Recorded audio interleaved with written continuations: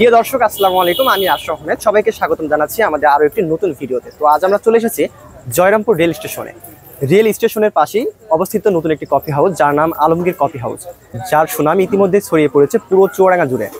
তো এর কফির মান কেমন? কেমন? এর দাম? এর সৌন্দর্য কেমন? কফি হাউসের ডেকোরেশন কেমন? এই সকল বিষয়গুলো অবশ্যই দেখাবো আজকের ভিডিও। পুরো ভিডিও জুড়ে আপনাদেরকে থাকতে হবে। আপনাদের সাথে রয়েছে আমি আশরাফ আহমেদ। তো চলুন, যা যাক কফি হাউসের ভিতরে।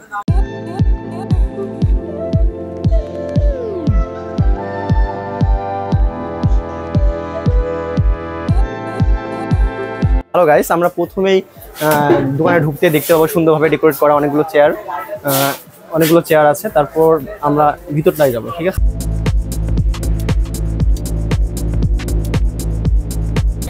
প্রিয় দর্শক, আপনার কফি হাউসের ভিতরে ঢুকতেই চোখে পড়বে সুন্দর নান্দনিক গাছের নার্সারির মতো লাগছে যা দেখতে এখানে সুন্দর ডেকোরেট করা, এদিকে এদিকে।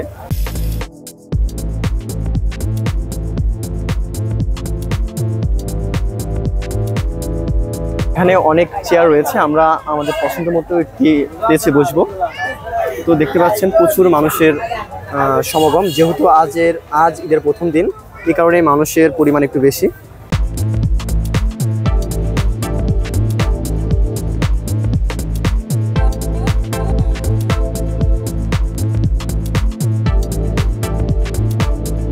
প্রিয় দর্শক, আমরা একটু আপনাদেরকে ঘুরে দেখাবো। এর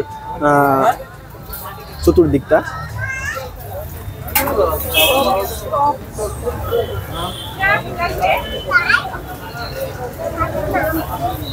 এটা কি?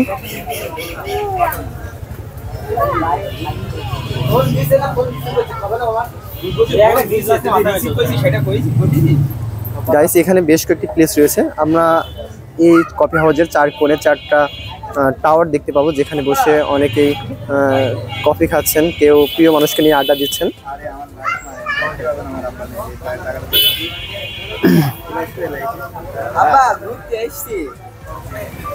দুঃখের বিষয় এখানে একটি টাওয়ারও ফাঁকা নাই সবগুলো অলরেডি বুক শাকিল তোমার কি মনে হচ্ছে এখানে এসে? এখানে এসে মনে হচ্ছে সবাই এখানে আসে আসে কারণ আছে তার প্রিয়জনদের সাথে একসাথে খাবার খেতে বা একটু আড্ডা দিতে আনন্দ উপভোগ করতে। আমরা এসেছি আমরা যেটাই বসতে চেয়েছিলাম ঠিক আছে একটা রুমের মতন কিন্তু এটা ব্লক হয়ে গেছে। আমরা বুঝতে পারছি না আমরা কি ওয়েট করতে পারি? আমরা আরেকটু চেষ্টা করব সামনের দিকে এগিয়ে যদি ভালো কোনো সিট পাই গাইস আমরা এই মুহূর্তে একটি লাভ প্লেস দেখতে পাচ্ছি। গাইস ইতিমধ্যে আপনারা দেখতে পাচ্ছেন আমি সুন্দর একটি লাভ প্লেসে বসেছি। এখানকার সৌন্দর্য অনেক সুন্দর। তো এইদিকে আছে নাগরদোলা। আমরা অবশ্য নাগরদোলা বলতে পারি এটা হচ্ছে দোলনা।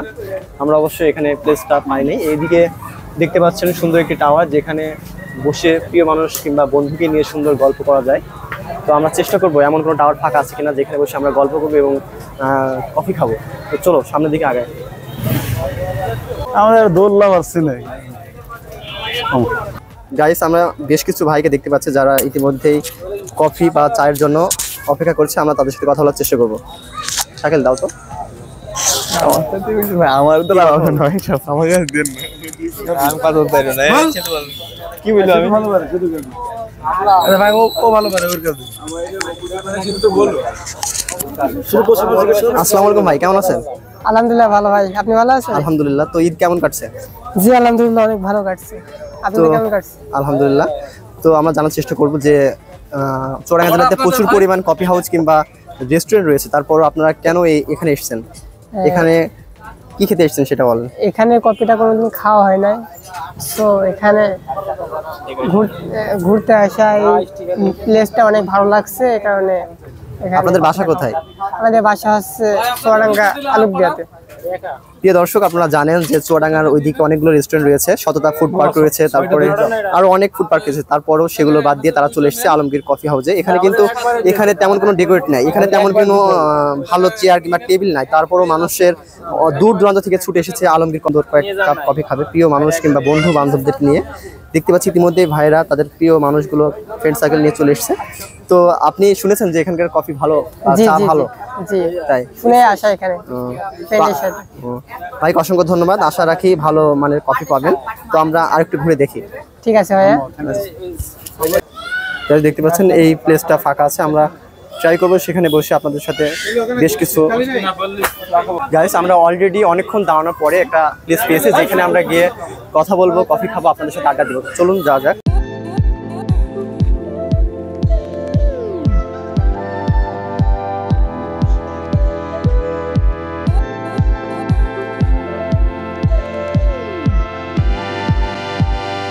আসো, হৃদয় আহমদ, আসো।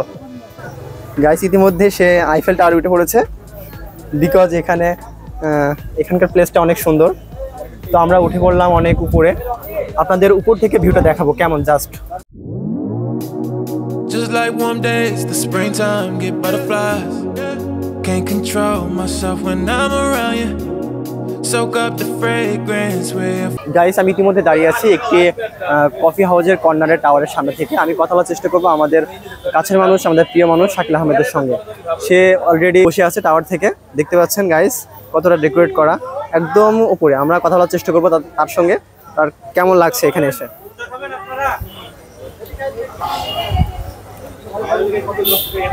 এদিকে আছে হৃদয় আহমেদ এদিকে আছে শাকিল। হাই হাই তো আমি চলে যাই কর্নারে শাকিল তুমি তো অনেকক্ষণ ধরেই বসে আছো তো কেমন লাগছে? এখানকার পরিবেশ কেমন? জি আমি অনেকক্ষণ ধরে এখানে বসে আছি এখানে পরিবেশ অনেক সুন্দর। অনেক সুন্দর যেহেতু তুমি আছো দুই তলার উপরে প্রায় তো এখান থেকে কেমন ফিল হচ্ছে? এখান থেকে অনেক ভালো লাগছে। পাশে আছে আমাদের প্রিয় ভাই হৃদয় আহমেদ। তার কাছ থেকে জানার চেষ্টা করব তার কেমন লাগছে এখানে এসে? কেমন লাগছে? ভালো লাগছে না এখানকার ডেকোরেটগুলো কেমন বা লাইটিং সেটা এখানে সবকিছু টোটাল অনেক ভালো আর কি। অনেক মানুষের সমাগম মানুষ জায়গাটা অনেক পরিচিত হয়েছে।